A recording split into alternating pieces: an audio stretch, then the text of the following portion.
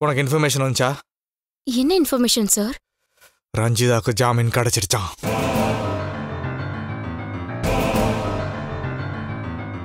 எப்படி சார் என் புருஷனுக்கு கல்யாணம் நான் போனாதான் என் வாழ்க்கையை காப்பாத்திக்க முடியும் அவன் ஏதோ எமோஷனலா பேசியிருக்கா போல இருக்கு. அதுல உருகி போய் ஜட்ஜி ஜாமீன் கொடுத்துட்டாரு போல இருக்கு. இப்போ என்ன சார் பண்றது? உனக்கும் அருணுக்கும் நடக்க போற இருக்கிற கல்யாணத்தை நிறுத்துறதுக்காகவே போராடி ஜாமீன் வாங்கியிருக்கா. இம்மிடியட்டா அந்த வேலையில தான் இறங்குவா. இங்க பார். அருணுக்கு ஃபோன் பண்ணி டிஸ்டர்ப் பண்ணுவா? இல்லனா சுதா மூலியமா ஏதாவது ஒரு குழப்பத்தை பண்ண பாப்பா. இது எல்லாத்தையும் சமாளிக்கிறதுக்கு நீ ரெடியா இருந்துக்கோ. நீங்க கல்யாணம் நடக்கும்போது அவ ஜெயில்ல இருப்பா. அவளால எந்த பிரச்சனையும் வராதுன்னு நான் நிம்மதியா இருந்தேன் சார் இவ்ளோ ஈஸியா இவளுக்கு ஜாமீன் கிடைக்கும்னு நான் கொஞ்சம் கூட எதிர்பார்க்கவே இல்லை சார் முடிஞ்சதை பத்தி பேசி எந்த யூஸுமே இல்லை கல்பனா. இங்க பார். இப்ப அவ பிரச்சனையை மீறி உன் கல்யாணத்தை எப்படி முடிக்க போறோன்றதை மட்டும் தான் நம்ம யோசிக்கணும். சொல்ல போனா ரஞ்சிதா திட்டம் போட்டு ஏதாவது செய்யறதுக்குள்ள உன் கல்யாணம் முடிஞ்சாகணும். அதுக்கு என்ன வழின்னு மட்டும் யோசிக்கணும். சரி அங்க சூழ்நிலை எப்படி இருக்கு? அருணோட அப்பாவுக்கு பெருசா ஒண்ணும் இல்லைல்ல? அண்ட் கல்யாணத்தை பத்தி என்ன சொல்றாங்க? இன்னும் ஒரு மணி நேரத்துல அவர் கண் முழிச்சிருவாரா சார். அதுக்கப்புறம் கல்யாணத்தை முடிச்சிடலான்னு வித்யா சொல்றா. ஐயோ அவ்வளோ நேரம்லாம் ரஞ்சிதா கொடுக்க கூடாது கல்பனா. சரி அவர் கண் முழிக்கணும்னு ஏன் வெயிட் பண்றீங்க? அவர் தான் பழச்சிட்டார்ல அப்புறம் என்ன ஃபிக்ஸ் பண்ண டைமிங்ல கல்யாணத்தை பண்ணி முடிக்க வேண்டியதானே இதை நான் எப்படி சார் சொல்ல முடியும்? இப்ப இருக்கிற சூழ்நிலையில நான் அவசரப்பட்டா தப்பாயிடும் சார் ஆனா வித்யா எங்க கல்யாணத்தை முடிக்கிறதுல தீவிரமா இருக்கா? அவர் கண் முழிச்சாதான் இத பத்தி பேச முடியும். ஆனா அதுலயும் ஒரு பிரச்சனை இருக்கு. என்ன பிரச்சனை?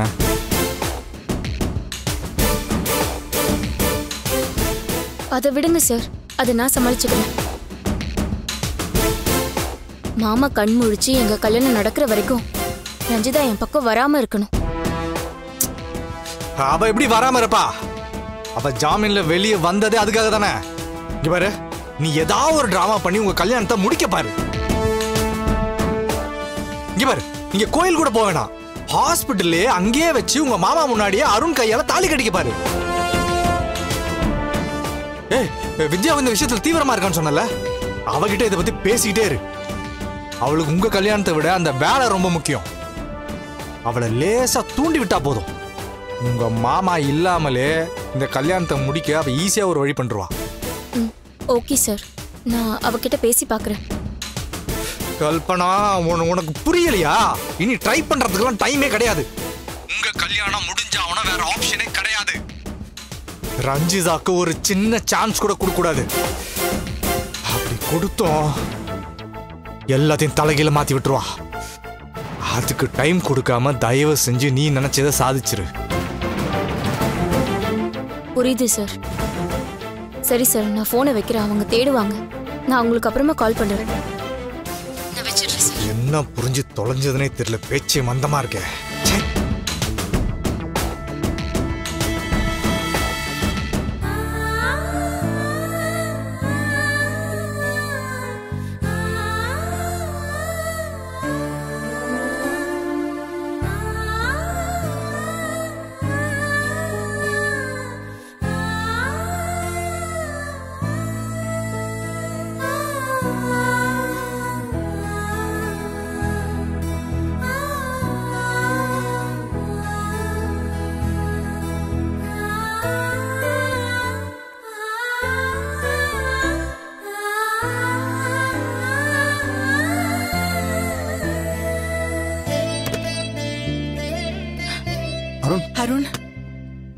இப்ப எப்படிடா இருக்காரு.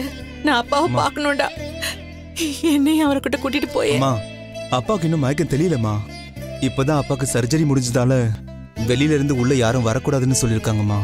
நம்ம வார்டுக்கு மாத்தினதுக்கு அப்புறம் பாத்துக்கலாமா டேய் அப்பாவுக்கு பயப்படுற மாதிரி எதுவும் இல்லைல்ல. தயவு செஞ்சு மறைக்காம சொல்லுப்பா. இல்லம்மா. அழுகாதீங்கம்மா. அப்பாவுக்கு கிரிட்டிக்கலா எதுவும் இல்ல. பொழைச்சிட்டாரு நல்லா தான் இருக்காரு ஆனா நினைவு திரும்புறதுக்கு தான் முன்ன பின் ஆகும்னு டாக்டர் சொல்லியிருக்காரு. அம்மா நீங்க அப்பாவை நினைச்சு கவலைப்படாதீங்கம்மா. இப்பதான் நிம்மதியா இருக்கு மாப்ள டாக்டரே பயப்பட வேண்டாம்னு சொல்லிட்டாருல்ல. நேத்துல இருந்து அக்காவும் நீயும் எதுவுமே சாப்பிடவே இல்லை. நாங்களாவது இடையில போய் டீ காஃபின்னு குடிச்சிட்டு வந்தோம். நீ போய் ஏதாவது ஜூஸ் குடிச்சிட்டு அக்காவுக்கும் ஏதாவது வாங்கிட்டு வாப்போ இல்லடா எனக்கு எதுவும் வேண்டாம். அம்மா. அவரை நான் பார்க்கணும். அதுக்கப்புறம் தான் எனக்கு சோறு தண்ணி எல்லாம் இறங்கும். நீ போய் ஏதாவது சாப்பிட்டு வாடா. அம்மா நீங்க அண்ணி. முதல்ல சாப்பிடுங்கம்மா. தயவு செஞ்சு இதுக்கு மேலயும் அடம் பிடிக்காதீங்க. உங்க உடம்பு இருக்கிற நிலைமைக்கு நீங்க இவ்ளோ நேரம் எதுவும் சாப்பிடாம இருக்கிறதே நல்லதுக்கு இல்ல. உங்க உடம்ப கெடுத்துக்கிட்டு நீங்களும் இங்கேயே சேர்ந்துட போறீங்களா? இல்ல சீதா.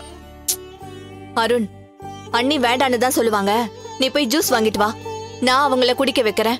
அம்மா நான் போய் வாங்கிட்டு வரேன். மாமா அம்மா பாத்துக்கோங்க.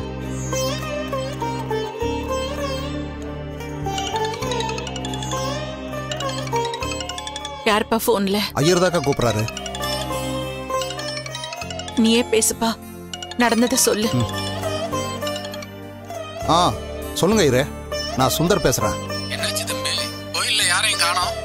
அம்மா கிட்ட நான் முன்னாலேயே வர சொல்லியிருந்தேனே. இவ்வளவு நேரம் ஆகி யாருமே இன்னும் ஏன் இங்க வரல? ஒரு நிமிஷம் இருங்க. அக்கா அவரு என்னப்பா சொல்றாரு? நான் கோயிலுக்கு வந்துட்டேன். உங்களை யாரையுமே காணுமேன்னு கேட்குறாரு என்ன சொல்றது? ஒரு அஞ்சு நிமிஷம் கழிச்சு கூப்பிடுறேன்னு சொல்லுப்பா. ஐயரே சொல்லுங்க. ஒரு அஞ்சு நிமிஷம் கழிச்சு கூப்பிட்றேன். ஆ சரி. சீக்கிரமா கூப்பிடுங்க. எனக்கு என்ன சொல்றதுன்னு தெரியல சுந்தர். எப்படியாவது இந்த கல்யாணத்தை முடிச்சிடலான்னு நினைச்சிட்டு இருந்தேன். திடீர்னு இவருக்கு இப்படி ஆயிடுச்சு. இந்த நிலைமையில எப்படிடா கல்யாணம் பண்றது? ஏமா பண்ணக்கூடாது?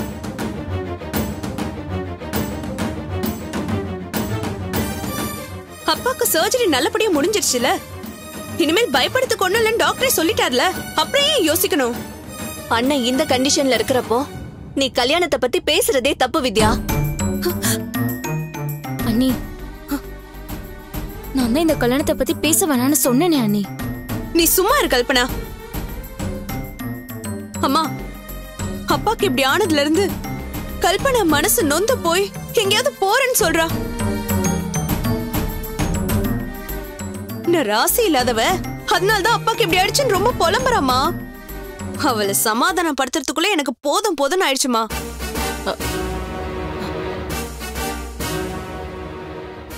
கண்டிஷன்லாம் போட்டு அருணோட சம்மதத்தை வாங்கிட்டோம். கல்யாணத்தை தடுக்கிறதுக்கு ரஞ்சிதாவும் இங்க இல்ல. இதை விட நல்ல சான்ஸ் நம்மளுக்கு கிடைக்காதுமா. இன்னைக்கே வேற ஏதாவது நல்ல நேரம் இருக்கா? ஐயரை கேளுங்க. அருண் கல்பனா கல்யாணத்தை இதுக்கு மேல தள்ளி போட வேணாம் இன்னைக்கே முடிச்சிடலாமா அது எப்படி முடியும்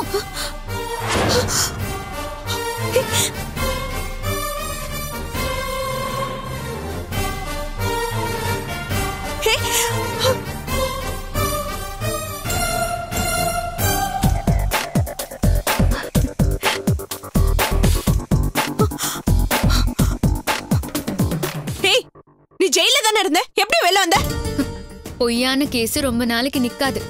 என் புருஷனுக்கு இன்னொரு கல்யாணத்தை பண்ண பாக்குறாங்கன்னு ஜட்ஜ் கிட்ட சொன்னேன். என் பக்கம் இருக்கிற நியாயம் உங்களுக்கு தான் புரியல. ஆனா அவருக்கு புரிஞ்சிருச்சு. அதான் எனக்கு ஜாமீன் கொடுத்துட்டார். உன்ன மாதிரி ஒரு கொலகாரிக்கு ஜாமீனே கொடுத்துருக்க கூடாது. எல்லாரையும் மயக்கிற மாதிரி ஜட்ஜியை மயக்கிட்ட போல இருக்கு. அதான் ஜாமீன் கொடுத்துருக்காங்க உனக்கு. ஐயோ அத்தை! உங்க பொண்ணுக்கு நாகரிகமா பேசவே தெரியாதா? எல்லாரையும் நல்லா வளர்த்துட்டீங்க. ஆனா இவங்கள மட்டும் வளர்க்கறதுல ஏதோ தப்பு பண்ணிட்டீங்க. ஏய் இப்போ வரைக்கும் அண்ணிங்கிற மரியாதை கொடுத்து தான் பேசிட்டு இருக்கேன் நீயே அதை கெடுத்துக்காத. இன்னொரு தடவை என்ன மயக்குன கியக்குனன்னு வாய் விட்ட அப்புறம் என் கைதான் பேசும். என்னடி? கலாட்டா பண்றதுக்கு தான் இங்க வந்திருக்கியா? இல்ல அத்த. மாமா மாடியில இருந்து விழுந்துட்டாருன்னு சுதா சொன்னா. அவர் எப்படி இருக்காருன்னு பாத்துட்டு போலான்னு தான் வந்தேன். இந்த மாமா அத்தைன்ற உறவு கொண்டாடுற உரிமையெல்லாம் உனக்கு கிடையாது. இப்படி உருகி உருகி பேசிதானே எங்க எல்லாரையும் ஏமாத்திட்டு இருந்த? ஹம், நாங்க முட்டாளா இருந்த காலெல்லாம் முடிஞ்சு போச்சு. நீ கிளம்பு. அம்மா இவன் கிட்ட என்னம்மா பேச்சு? ஐயர் கிட்ட நல்ல நேரம் கேளுங்க. நம்ம கிளம்பலாம். இன்னைக்கே அருண் கல்பனா கல்யாணத்தை நடத்திடலாமா? அது எப்படி? முத பொண்டாட்டி நான் ஒருத்திங்க இருக்கிறப்போ அருண்க்கு எப்படி இன்னொரு கல்யாணம் பண்ணுவீங்க? என்னது? முதல் பொண்டாட்டியா? அருணை ஏமாத்தி திருட்டுத்தனமா தாலி கட்டிக்கிட்டா நீ அவனுக்கு பொண்டாட்டி ஆடுவியா நான் ஒன்னும் அவரை ஏமாத்தல. திருட்டுத்தனமாவும் கல்யாணம் பண்ணிக்கல. சூழ்நிலையால எதிர்பாராத விதமா நடந்த ஒரு கல்யாணம் தான் அது. டேய் அதுக்கு சாட்சி இருக்கா? அவன் கட்டின தாலி இருக்கா? நீயும் அவன புருஷன் பொண்டாட்டின்னு சொல்லிக்க என்ன ஆதாரம் இருக்கு? ரெஜிஸ்டர் மேரேஜ் பண்ணிட்டு சர்டிபிகேட் ஆச்சு இருக்கா ஆ? எதுவும் இல்லங்கிறதுனால நான் அருணோட பொண்டாட்டி இல்லன்னு ஆயிராது. பொண்டாட்டி பொண்டாட்டின்னு நீ தான் சொல்லிட்டு இருக்க அருணே அதை மறந்துட்டாரு. அதான் உன் திருட்டு தாலியை கழட்டி கொடுத்துட்டு உன்னை வீட்டை விட்டு வெளியே அனுப்பும் போது அவர் எதுவுமே பேசல. இப்ப என்ன கல்யாணம் பண்ணிக்கிறதுக்கும் சம்மதிச்சிருக்காரு. பொய் சொல்லாத. அவர் என்ன வெளிய கொண்டு வரணும்னு தான் இந்த கல்யாணத்துக்கே சம்மதிச்சிருக்காரு. கல்யாணங்கிறது ரெண்டு பேரோட முழு விருப்பத்தோட நடக்கணும். இந்த மாதிரி கண்டிஷன் போட்டு சம்மதம் வாங்கியிருக்கியே வெக்கமா இல்ல உனக்கு?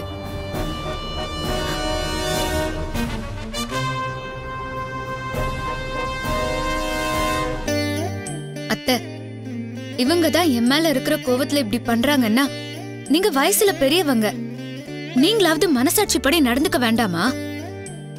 ஏன் வாழ்க்கைய பத்தி யோசிக்காம அருணுக்கு இன்னொரு கல்யாணம் பண்ணி வைக்கிறது எந்த விதத்துல நியாயம் அத்தை?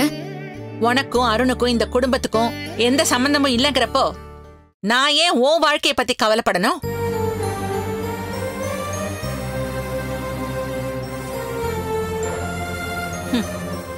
நடந்தது கல்யாணமும் இல்ல நீ என் மருமகளும் இல்லன்னு நான் உங்ககிட்ட பல தடவை சொல்லிட்டேன். அப்படி இருந்தும் நீதான் மான ரோஷம் இல்லாம என்கிட்ட வந்து பிரச்சனை பண்ணிட்டு இருக்க.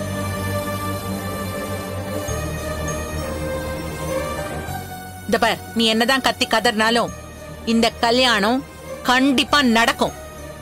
உன்னால முடிஞ்சதை பாத்துக்கோ. அண்ணி வித்யாவோட சேர்ந்துகிட்டு நீங்களும் தப்பா பேசாதீங்க. ஒரு பொண்ணோட சாபத்தை நாம வாங்கி கட்டிக்க வேண்டாம். இந்த கல்யாண பேச்சை இத்தோட விட்டுருங்க அண்ணி. அத்த உங்களுக்கு இஷ்டம் இல்லைன்னா வராதீங்க. நாங்க இன்னைக்கு நடத்தி ஆகணும்னு முடிவு பண்ணிட்டோம். இவளால எங்களை தடுக்கவே முடியாது. லீகலா ஏதாவது கம்ப்ளைண்ட் கொடுக்கறதுனால கொடுக்கட்டும். அங்கேயும் சாட்சி எங்க தாலி எங்கன்னு கேட்பாங்க. அங்க போனதுக்கு அப்புறம் இவ அசிங்கப்பட்டு தான் நிப்பா வித்யா கொஞ்சம் அமைதியா இரு. சுதா அருண்? சுதா அருண்? நீ எப்படி இங்க வந்த? எனக்கு ஜாமீன் கிடைச்சிருச்சு அருண். அதான் மாமாவை பார்த்துட்டு போலான்னு வந்தேன். இல்லடா இவ ஒன்னும் அப்பாவை பார்க்க வரல. இன்னைக்கு உன் கல்யாணம்னு தெரிஞ்சுக்கிட்டு அதை தடுத்து நிறுத்த தான் வந்திருக்கா. உன் முன்னாலே இவன் கல்யாணத்தை நடத்தி காட்டுறோம். பாரு அம்மா வாங்க போலாம். கல்பனா வா போலாம். வாடா. ஏய், விடு. சீ அப்பா இப்பதான் ஒரு பெரிய ஆபத்துல இருந்து மீண்டு வந்திருக்காரு. இன்னும் அவருக்கு மயக்கம் கூட தெரியல இப்ப போய் கல்யாணம் அது இதுன்னு பேசிட்டு இருக்க? மனுஷியா நீ?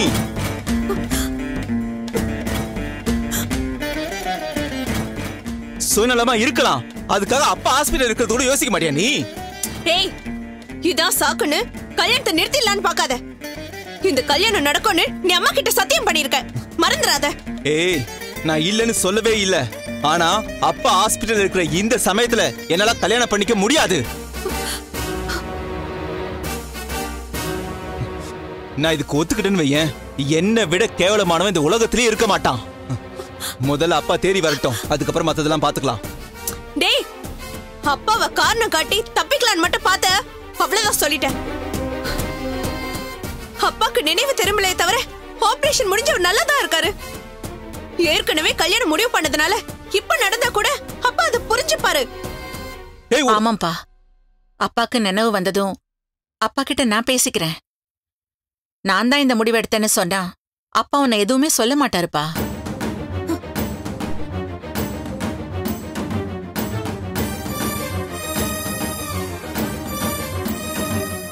இப்பவாவது உன் கல்யாணம் நல்லபடியா முடிஞ்சதுன்னு அவர் சந்தோஷம் தான் படுவாரு. அம்மா நீங்க அப்பாவை கன்வின்ஸ் பண்றது இப்ப பிரச்சனை கிடையாது. இதுக்கு நான் தயாரா இல்லைன்றதுதான் பிரச்சனை. அம்மா அப்பா இல்லாம என்னால இந்த கல்யாணத்துக்கு ஒத்துக்க முடியாது. இந்த பேச்சு தயவு செஞ்சு இதோட விட்டுருங்க ப்ளீஸ் சைலன்ஸ் என்ன ஐசியூ முன்னாடி இப்படி கத்திக்கிட்டு இருக்கீங்க? சாரி சிஸ்டர் பேஷண்ட்க்கு கான்ஷியஸ் வந்துடுச்சு. இங்க வேதாங்கிறது யாரு? நான் தாங்க அருணுங்கிறது? நான் தான் சிஸ்டர் இன்னொருத்தர் பேர் ஏதோ சொன்னாரே. ஆ, ஆ, வித்யான்னு சொன்னாரா? இல்ல ஆ, ரஞ்சிதான்னு சொன்னாரு.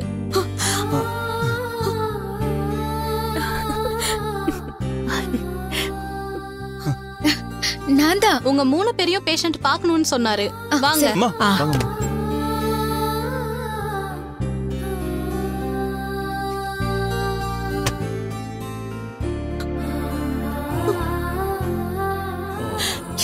அப்பா பேஷண்ட்டுக்கு ரொம்ப ஸ்ட்ரெயின் கொடுக்க வேண்டாம். நான் போய் டாக்டரை கூட்டிட்டு வரேன். சரிங்க சிஸ்டர் அப்பா. என்னங்க? அப்பா. நான் என்னங்க பாவம் பண்ணேன்? அம்மா அழாதீங்கம்மா.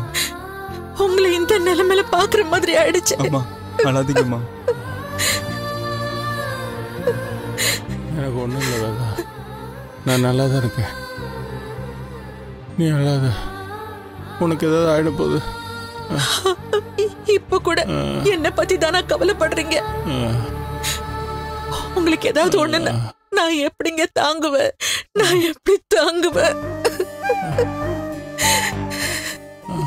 அப்பா எப்படிப்பா இருக்கீங்க? நான் நல்லா இருக்கேன்டா. நீ தான் எல்லாருக்கும் தைரியம் சொல்லணும். நீ தான்டா அம்மாவை பார்த்துக்கணும். நீயே உடஞ்சு போயிட்டா எப்படிடா? இல்லப்பா உங்களை இந்த நிலைமையில என்னால பார்க்க முடியலப்பா. உங்க தலையில பலமா அடிபட்டதால நாங்க எல்லாரும் ரொம்ப பயந்துட்டோம்ப்பா. டாக்டர் மேஜர் சர்ஜரி பண்ணணும். உங்க உயிருக்கு ஆபத்து வேற இருக்குன்னு சொல்லிட்டாரு.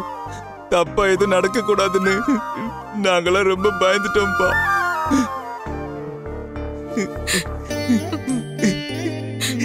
அருண் அழாதீங்க.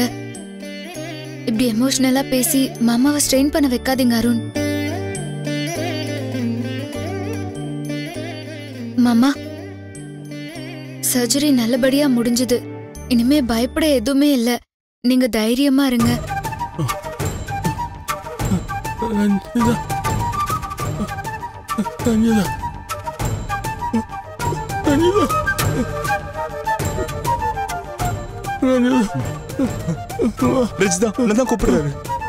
மாமா. அழாதீங்க மாமா. எல்லாம் சரியாயிடும் மாமா. எல்லாம் சரியாயிடும். சீக்கிரமா நீங்க குணமாகி வீட்டுக்கு வந்துருவீங்க?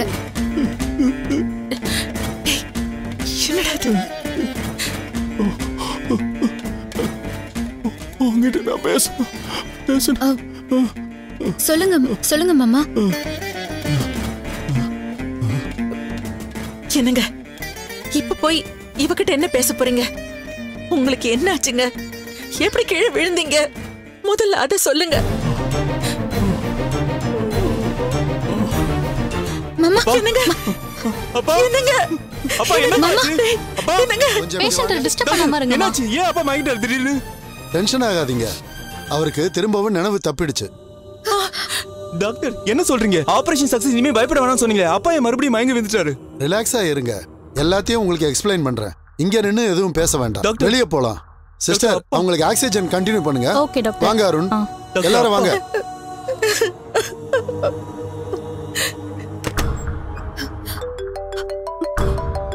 டாக்டர் என்னாச்சு அப்பாவுக்கு? Excuse me one second I will come back okay hello Radhakrishnan here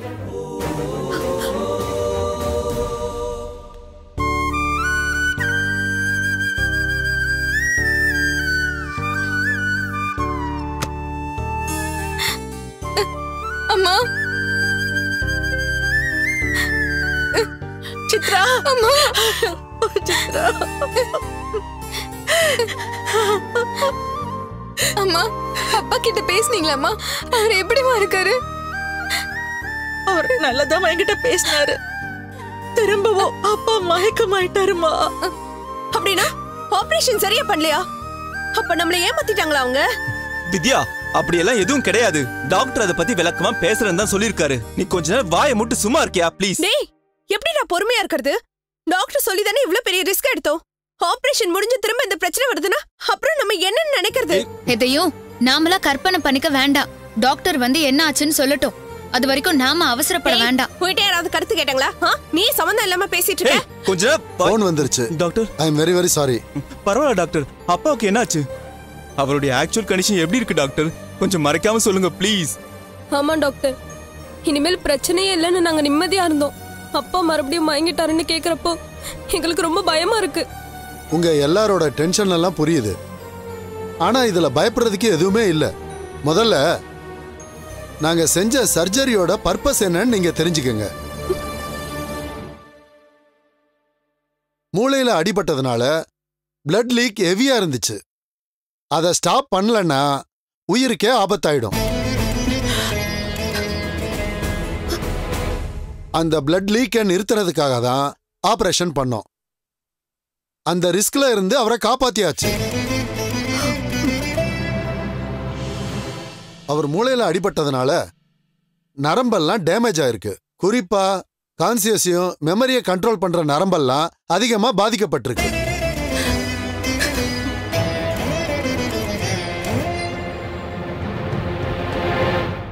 இந்த மாதிரி பேஷண்ட்டுக்கு திடீர்னு நினைவு வரும் திடீர்னு போயிடும். அது எப்ப வரும்? எவ்வளவு நேரம் இருக்கும்லாம் சொல்ல முடியாது. அதே மாதிரி பழைய விஷயங்கள்லாம் ஞாபகத்தில் இருக்கும். ஆனால் ரீசண்டாக நடந்ததெல்லாம் மறந்து போயிடும்.